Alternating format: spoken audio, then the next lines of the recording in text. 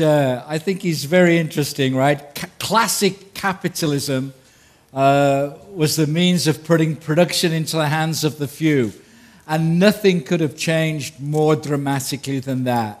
So we think uh, capitalism is dead, and we're now thinking about catapultism.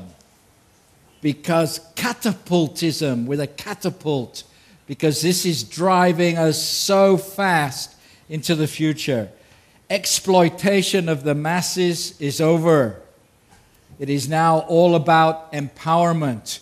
We are all empowered. We are in control of our own destinies. We are responsible for our own happiness. Forget about corporations, forget about governments.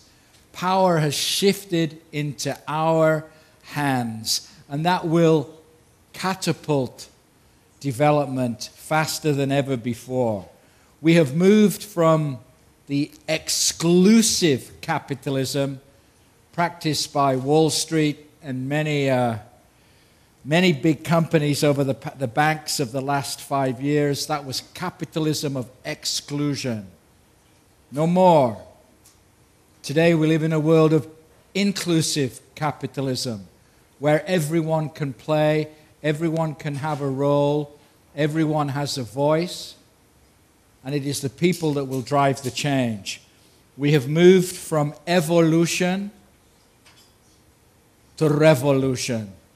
The French evolution would never have happened, and neither will this one. We're talking about, I was on a forum today and someone was saying, well, capitalism 4.0 is very close to current capitalism. I completely disagree. Completely disagree.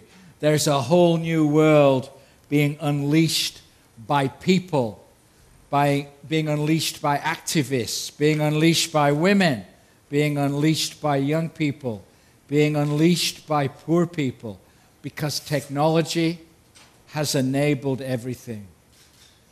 Arab Spring is driven by young people. What's going on in Russia today with Putin is nothing to do with politics or with corporations, it's to do with young people. This is the